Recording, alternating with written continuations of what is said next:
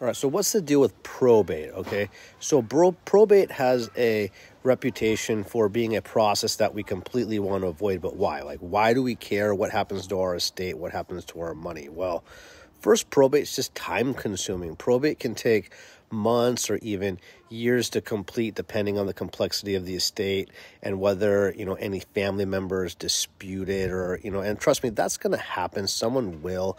It typically brings out the worst in people. And during this time beneficiaries may be unable to access the assets so we want to completely avoid this by having and utilizing a trust.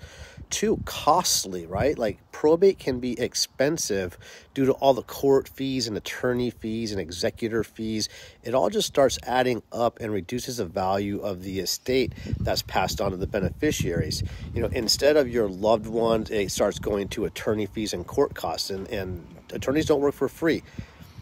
Three, public record, okay? Probate proceedings are fully public, which means that the details of the estate, including assets, the debts, and its distributions, all become part of the public record. And nobody needs or should know any of this. It's none of their business. So let's keep it that way, right? Like, let's keep this stuff private for um, potential for disputes. I already kind of touched upon this, but probate generally invites disputes among heirs and creditors, you know, angry kids or grandkids and nephews, somebody wanting more and starting to cause problems.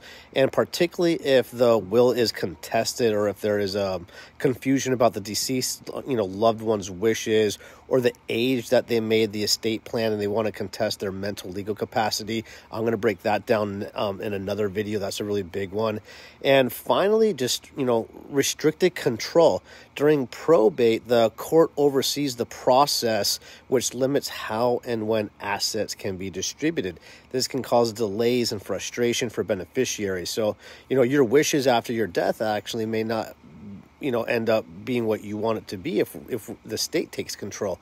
So by using strategies like a trust, you know, and beneficiary designations and power of attorneys, people can often avoid probate and allow for a faster, more private and cost-effective distribution of your estate and just let your family and loved ones focus on remembering you, getting closure and moving on.